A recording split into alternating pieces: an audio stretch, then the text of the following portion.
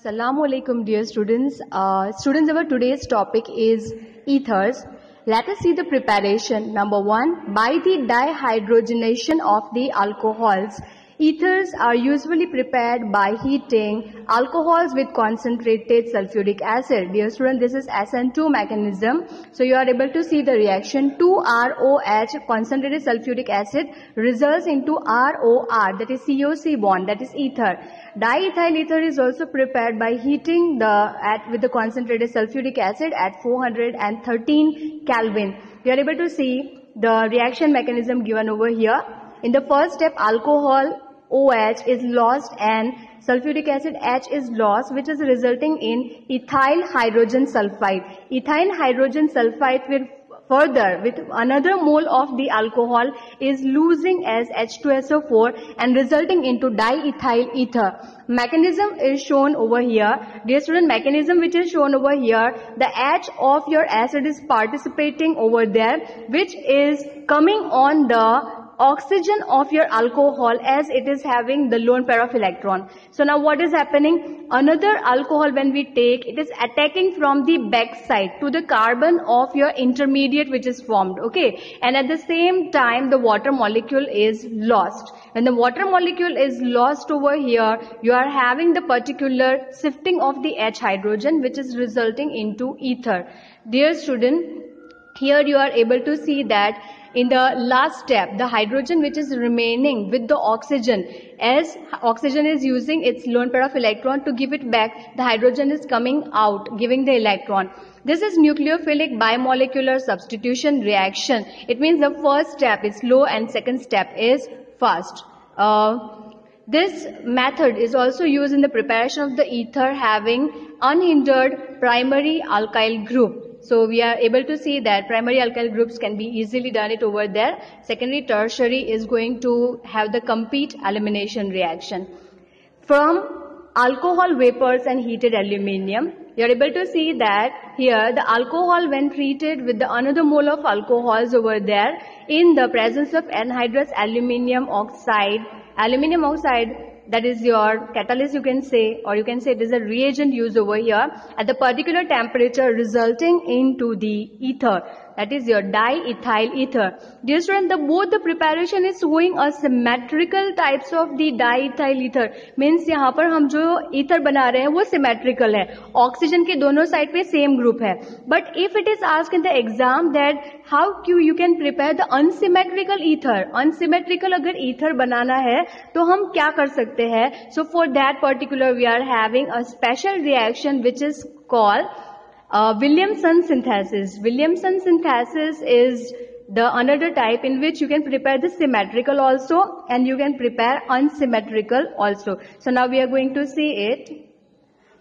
Okay, you have to use your uh, ethyl iodide plus sodium ethoxide. So what is going to happen? NaI will be removed out and remaining entity is joined. So this is the example wherein you are uh, making it as a symmetrical ether. But if you want to make the unsymmetrical the sorry if you want to make the unsymmetrical you have to go for taking a different molecule.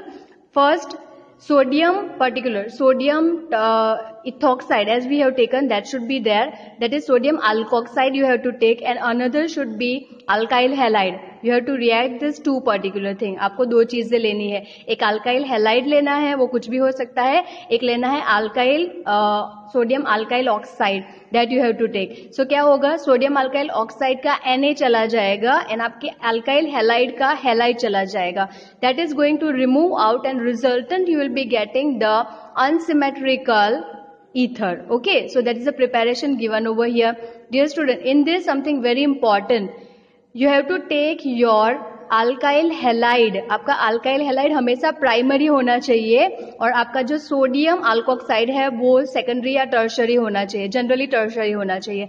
तो ही ether बनेगा। If you take your bromide sorry it is bromine given over here if you take your alkyl halide tertiary and sodium alkoxide primary then it will be resulting in to the ethene molecule alkene molecule as you are able to see two methyl propene So that is a reverse of the first reaction given over here. When you will write it, you will able to understand it. So it is compulsory that when you go for making such a kind of the Williamson synthesis preparation, your alkyl halide should be primary and your sodium ethoxide should be tertiary, which is favorably giving the reaction.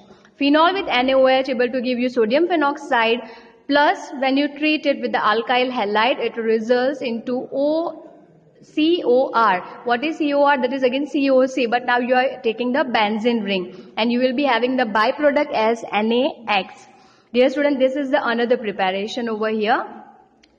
From an alkyl halide and dry silver oxide. So dear students, I hope you are getting the reactions and the one just now which I explained you about the condition that please make a note of that. Diethyl ether uh, when treated with, you have to again take your alkyl halide and you have to take the silver oxide that should be dry. It is going to result it into your 2 AgI means silver जो है वो iodide को निकाल देगा और बाकी की entity join हो जाएगी so it will be resulting into the diethyl ether. Physical properties of the ether. Diethyl ether is colorless, volatile liquid. The CO bond in the ether are polar, and ether do have a dipolar movement. Dipolar movement. यहाँ पे आपका oxygen and carbon के बीच में polarity develop होगी. Oxygen is highly electronegative so carbon will be electro positive okay relieving the angular nature angular nature क्यों? Carbon carbon oxygen के साथ जुड़ा हुआ है और वही ऑक्सीजन दूसरे कार्बन के साथ जुड़ा हुआ है. सो डियर स्टूडेंट लीनियर होने की बजाय ये एंगुलर है. एंगल फॉर्म कर रहा है। क्यों? बिकॉज़ ऑक्सीजन के पास दो लोन पेयर ऑफ़ इलेक्ट्रॉन है। And electron electron electron density increase and that is why they give the jerk they give the pull to the C O bond and that is resulting in to the bond angle formation so the angle is hundred and ten degree so you to understand it is because of the polarity which is created in the C H bond is it clear next we are going to talk about the boiling point so dear student boiling point. Ethers are having lower boiling point corresponding to the isomeric alcohol since there is no association between the molecules due to the hydrogen bonding.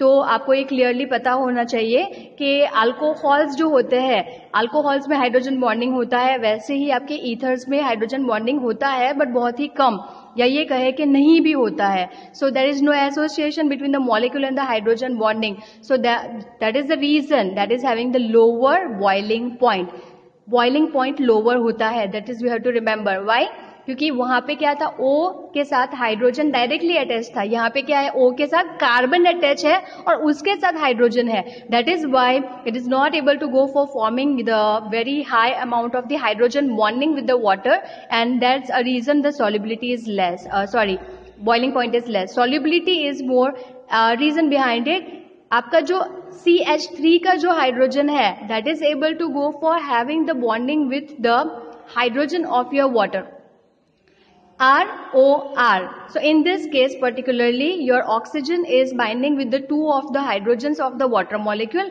and that is why the solubility is there. Solubility